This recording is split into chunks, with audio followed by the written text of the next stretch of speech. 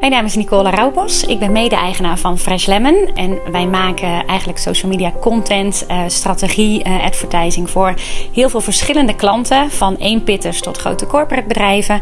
Uh, en daarmee ontzorgen we ze eigenlijk op het gebied van social. Fresh Lemon ben ik vijf jaar geleden begonnen. Uh, ik werkte daarvoor bij de Rabobank, waar ik verantwoordelijk was voor het social media beleid lokaal. Um, en ik heb daar mijn baan opgezegd. Ik werd 40 en ik dacht uh, tijd uh, voor iets nieuws.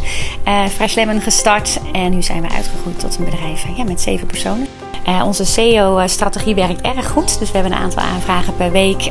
En dat is heel divers. Van schoonmaakbedrijven tot modemerken tot uitzendbureaus.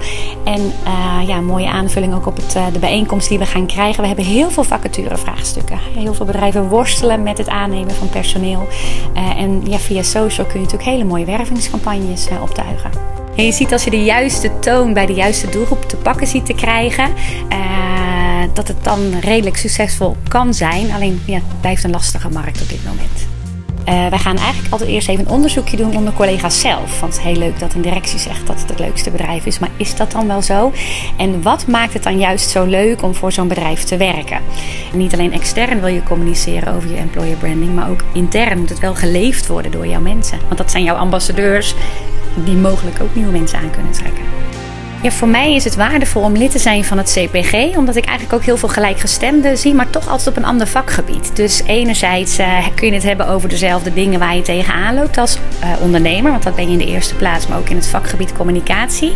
En uh, tweede reden waarom ik lid ben, is dat ik ook heel veel leer. Dus zeg maar de kennisdeling vanuit andere vakgebieden zijn voor ons heel interessant en ook heel inspirerend om daar kennis van te nemen.